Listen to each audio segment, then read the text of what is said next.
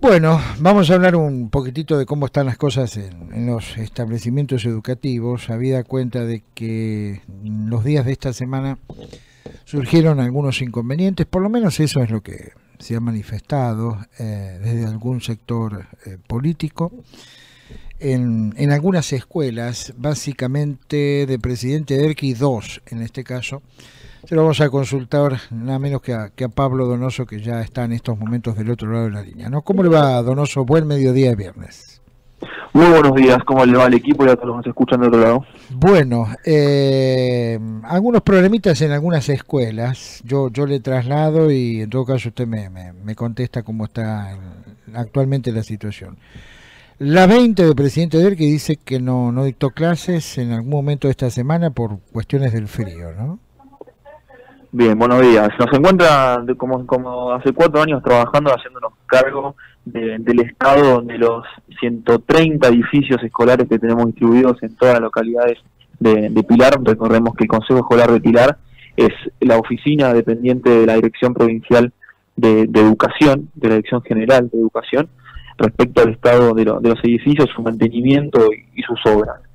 Hoy temprano en la mañana estuve en Monterrey, en, localidad de Derqui, donde estamos construyendo un nuevo edificio de jardín de infantes de seis aulas completamente nuevo y desde la misma avanzada, el mismo barrio de la escuela primaria 20 que, bien mencionás, que venimos llevando a cabo un trabajo de instalación de gas y de renovación y cambio de las estufas, de los artefactos eléctricos, eh, perdón, de gas, que mañana sábado esperamos poder terminar con ese trabajo que va a estar dejando una capacidad instalada de, más de 25 estufas nuevas para calefaccionar el edificio. Recordemos que un edificio que comparten escuela primaria 20 y secundaria 16, donde sí el jueves, el, el miércoles, perdón, las clases estuvieron suspendidas por el trabajo que se está haciendo ahí, se coordinó con la, con la dirección de las escuelas, justamente que el personal pueda trabajar sin alumnos en el edificio y se dio clases con normalidad los jueves y se dio clases con normalidad hoy viernes y esperamos ya el sábado poder terminar y que, y que el lunes eh, la escuela ya tenga de vuelta, ¿no? Una obra grande que llevó semanas de recambio e instalación de nuevos artefactos de, calefacción. Bien, en el caso de, de, edificio que citábamos recién, la 20 y 16, que comparten estructura edilicia, eh, bueno, la misma venía bastante golpeadita, ¿no? En ese sentido. A ver, es, un edificio en el que desde el principio de gestión, en los últimos cuatro años, pudimos hacerles varias mejoras necesarias. Es un edificio que se, cuando comenzamos el trabajo haciéndonos cargo de, las obras en las escuelas, era un edificio que ante cada lluvia tenía filtraciones y, complicaba el normal funcionamiento. Bueno, es uno de los primeros edificios donde intervenimos con trabajos en sus techos y es un trabajo que se tiene que hacer de año a año, ¿no? Por eso estamos convencidos que la inversión en los edificios escolares tiene que ser permanente y tiene que ser sostenida. Todos los años y todos los días, en este caso, hacemos trabajos de mejoras en los edificios y en Pilar tiene un enorme volumen de matrícula, en son edificios que comparten primarias, secundarias, primarias adultos, fines. Los edificios escolares tienen un enorme uso y entonces es importante, insisto, que sea el gobierno que fuese, pero sin lugar a dudas comenzó un, cambio significativo de inversión y de sostenimiento de inversión con, con el cambio de gestión con Nicolás Ducoté como intendente, haciéndose cargo e invirtiendo en edificios de la educación pública que, si se quiere, en los, en los años de las gestiones anteriores lo dejaban solamente a la provincia, bueno, no.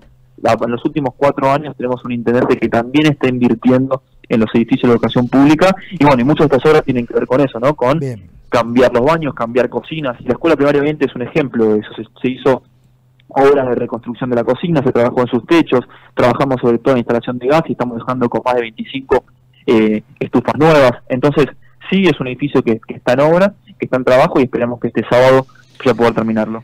También, digamos, hizo mención eh, la aparición de algún roedor en, algún que otro establecimiento educativo en la misma localidad. Estamos hablando del presidente de. ¿Qué sabe sobre el particular? Sí, es un caso puntual que salió, hizo de público conocimiento, que la escuela secundaria 31 de comparte edificio también en Monterrey con la escuela primaria 32. Recordemos también que en estos últimos años hemos podido ampliar en dos aulas la escuela secundaria 31, que es una secundaria que funciona con un anexo, es una secundaria que funciona en dos edificios. Bueno, nos hicimos cargo de hacer la obra de ampliación para que los chicos de la, de, la sede puedan terminar sus estudios en el edificio y no tengan que seguir trasladándose a otros, así que es una obra que ya está inaugurada y que los chicos están con sus nuevas dos aulas en la sede. Y en el anexo sí esta semana nos encontramos con el aviso que, que, da parte de la, escuela de que se habían encontrado con un roedor, dos roedores en, en el edificio. Y ahí directamente se dispara el dispositivo de, de, comenzar un trabajo de vuelta de limpieza y de ratización en particular acá este, en este caso había una presencia de algunas maderas y cartones y residuos que generan obviamente la presencia de pero después también se pidió y se hizo hincapié en la limpieza general del edificio, es un trabajo que hace en conjunto con el personal auxiliar, con el personal docente y directivo del, edificio, pero es un, ya ayer jueves, ante el aviso que presentó la escuela, se derratizó y hoy viernes la, la clase está funcionando con normalidad. Bien, en cuanto a distintas urgencias que plantean todos los, o la mayoría, o algunos de los establecimientos educativos del distrito, ¿en qué están trabajando? Mira, esto como volvemos al inicio de la consulta, ¿no? En Pilar es importante poder sostener una inversión en materia de infraestructura de manera sostenida e importante. Dicho esto, no solamente en mantenimiento, sino también en la generación de nuevas vacantes. Nosotros cuando subimos la gestión nos encontramos con el enorme desafío que había más de 3.000 chicos fuera del sistema educativo porque el Estado no había hecho las obras que tenía que hacer para que los chicos puedan estar dentro del jardín de infantes. Desde entonces comenzamos un proceso de inauguración y, creación de nuevos edificios escolares, particularmente de nivel inicial, y ampliación de los mismos. A la fecha son siete los jardines de infantes que abrieron sus puertas en los últimos cuatro años y hoy estamos construyendo dos jardines de infantes más. Al mismo tiempo pudimos inaugurar las aulas de, de 12 ampliaciones para no solamente los chicos ingresen al jardín de infantes, sino que también puedan continuar en las primarias, que muchas de las primarias comparten edificios con secundarias, entonces ahí la inversión es doble, porque estamos generando nuevas aulas en edificios de primaria que comparten con, con secundaria también. Y eso trae aparejado también la siguiente inversión que tiene que ver con el mobiliario. Solamente esta semana entregamos más de 20 aulas de mobiliario nuevo con sus 15 sillas y 30 mesas distribuidos en todas las localidades. Por eso decimos que y es importante sostener un compromiso no solamente de los representantes eh, electos en, cada una de las áreas, sino también de, de vecinos, de exigir y de trabajar en función de tener cada vez y mejores escuelas con una educación pública de calidad. Muy bien, estamos escuchando al consejero escolar eh, Pablo Donoso. Donoso, que siga usted muy bien y como siempre agradezco su gentileza en atendernos. ¿eh?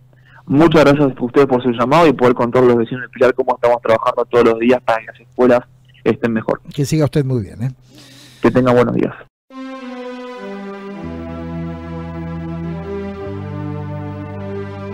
La credibilidad en la información se mide por su trayectoria. De lunes a viernes, el primero de la mañana, con Claudio Ponce de León. El primero de la mañana 100% periodismo.